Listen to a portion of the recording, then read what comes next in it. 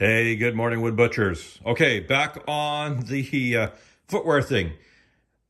I made a big decision on these, and I'm going to give you about a six-month update on these. I didn't want to post a unboxing. There's a million of these on on uh, online, but these are the Redback boots, and they're out from Australia, handmade down there, still made in Australia.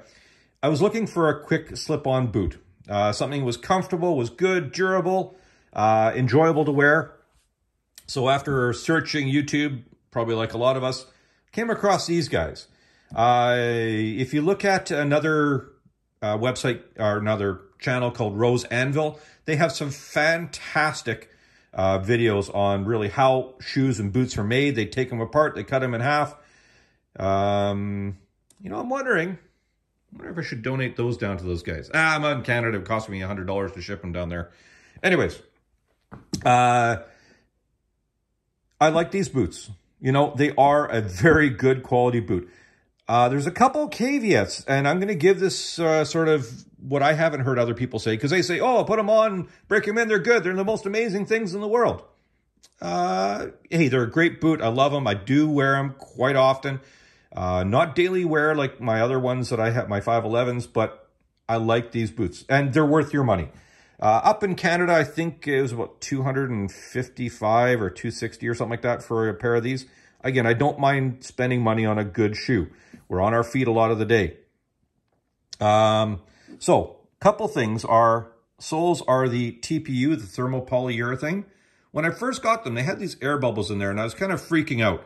Uh, I contacted the manufacturer, I contacted uh, the place I bought them, and they kind of looked at a whole bunch of them. We went through all their stock they all have these sort of bubble patterns. So uh, nothing to be too panicked over. They haven't had any effect on the, the wear on the bottom.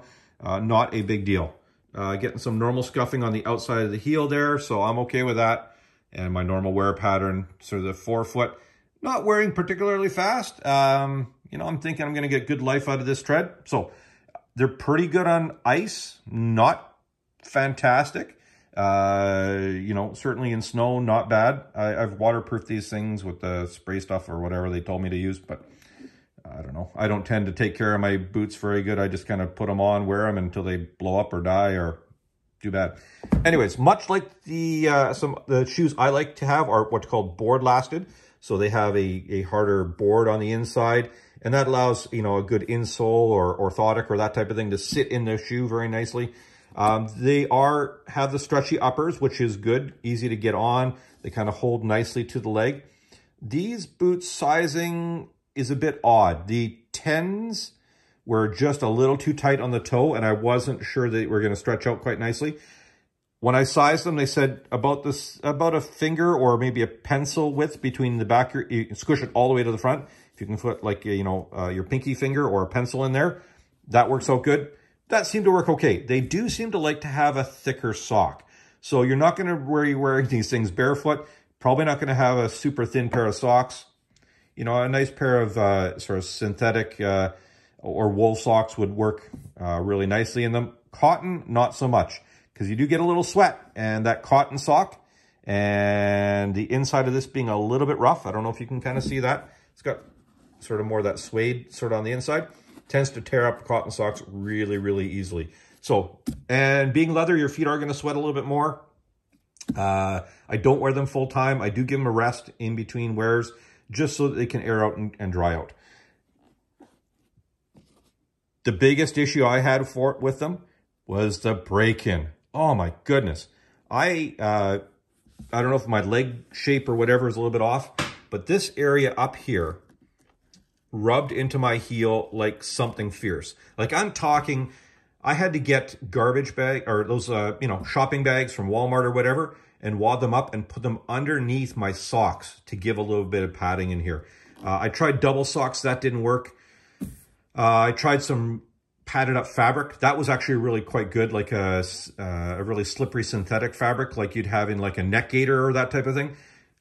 Put it underneath your sock, put it in there, double sock, Give yourself some areas where this can be frictioned in. Eventually, this kind of started to stretch out. You can kind of see it's got a little bit of a little bit of a curl there. There's some wrinkling happening in, in the leather, which means it's starting to break in.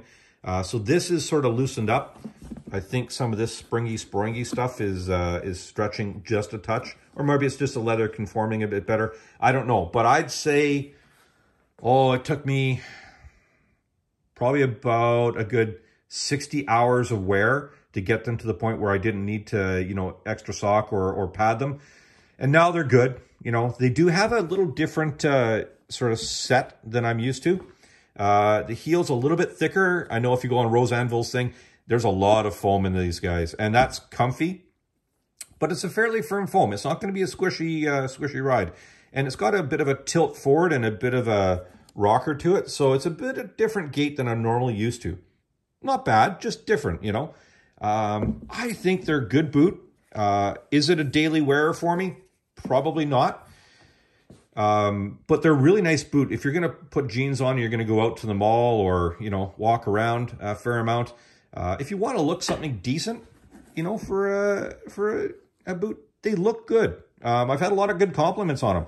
I like this uh, sort of brown tan. Looks nice. Uh, the webbing looks good. Uh, these little straps are fantastic for trying to get it on uh, and uh, yanking them off. Uh, but most of the time I just stick it in, you know, through here. Boop, pops on really good. Do need good socks though. Anyways, I hope this helps out somebody. Great boot. Watch the wear in. That's the big, uh, big concern there, okay? Double sock, uh, maybe a polypropylene underneath, uh, and then a wool sock over top or really thick wool socks. Or like I did, get something in there, put it underneath your sock and pad that Achilles area. This is uh, a killer for the first little while. Otherwise, go out in the workshop, put on a good pair of boots or whatever you want. Go make a mess, have some fun, and uh, go enjoy life.